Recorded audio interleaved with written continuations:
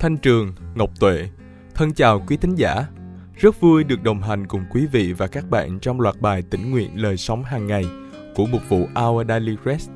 Ước mong rằng qua những giờ phút ngắn ngủi này, lời Chúa sẽ chạm đến và biến đổi tấm lòng quý vị. Hôm nay, chúng ta sẽ cùng suy ngẫm một bài học nhỏ với tựa đề Không chỉ một phần nhỏ, dựa trên phân đoạn Kinh Thánh trong Matthew chương 16, từ câu 21 đến câu 28, bản truyền thống hiệu đính. Mời quý vị và các bạn cùng lắng nghe. Từ lúc đó, Đức Chúa Giêsu bắt đầu bày tỏ cho các môn đồ biết rằng Ngài phải đi đến thành Jerusalem, phải chịu nhiều đau khổ bởi các trưởng lão, các thầy tế lễ cả cùng các thầy thông giáo và phải bị giết. Đến ngày thứ ba phải sống lại. Phi-e-rơ đem Ngài ra riêng và trách rằng Lạy Chúa, Đức Chúa Trời nào nỡ vậy? Việc này sẽ không xảy đến cho Chúa đâu. Nhưng Ngài quay lại và phán với Phi-e-rơ hỡi Satan, hãy lui ra đằng sau ta, ngươi là một chướng ngại cho ta, vì ngươi chẳng nghĩ đến việc của Đức Chúa Trời mà chỉ nghĩ đến việc của loài người. Rồi Đức Chúa Giêsu phán với các môn đồ rằng: Nếu ai muốn theo ta thì phải từ bỏ chính mình, phát thập tự giá mình mà theo ta. Vì bất cứ ai muốn cứu mạng sống mình thì sẽ mất, còn ai vì ta mà mất mạng sống thì sẽ tìm lại được. Nếu người nào được cả thế gian mà mất linh hồn mình thì có ích gì? Người ấy sẽ lấy gì mà đổi linh hồn mình lại? Vì con người sẽ đến trong vinh quang của cha mình cùng với các thiên sứ. Lúc ấy ngài sẽ ban thưởng cho từng người tùy việc họ làm. Thật ta bảo các con một vài người đang đứng đây sẽ không chết trước khi thấy con người đến trong vương quốc của ngài Câu gốc hôm nay được chép trong Matthew chương 16 câu 24. Nếu ai muốn theo ta, thì phải từ bỏ chính mình, phát thập tự giá mình mà theo ta.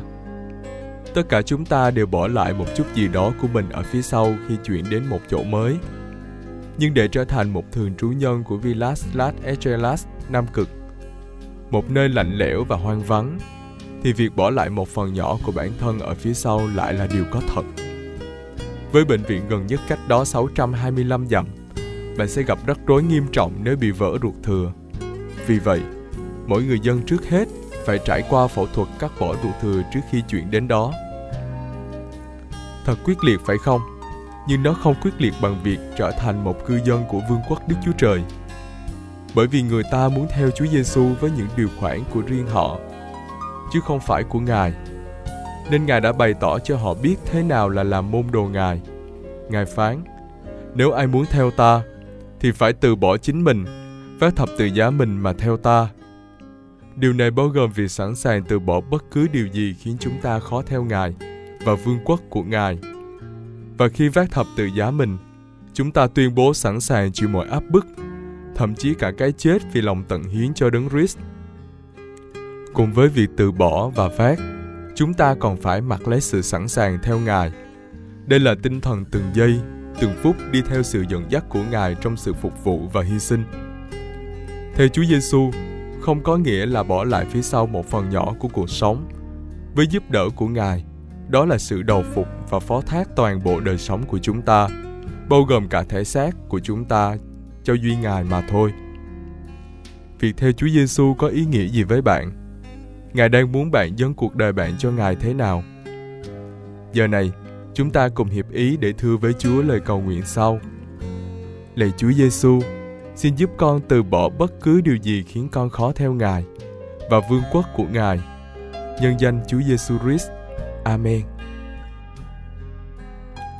Quý thính giả thân mến, ước mong rằng Chúa đã dùng bài tĩnh nguyện hôm nay để đem đến cho quý vị sự khích lệ và nâng đỡ trong bước đường theo Chúa nguyện năng quyền của Ngài hành động trên cuộc đời quý vị và các bạn mỗi ngày, để chúng ta luôn sống cho Chúa trong bất kỳ hoàn cảnh nào.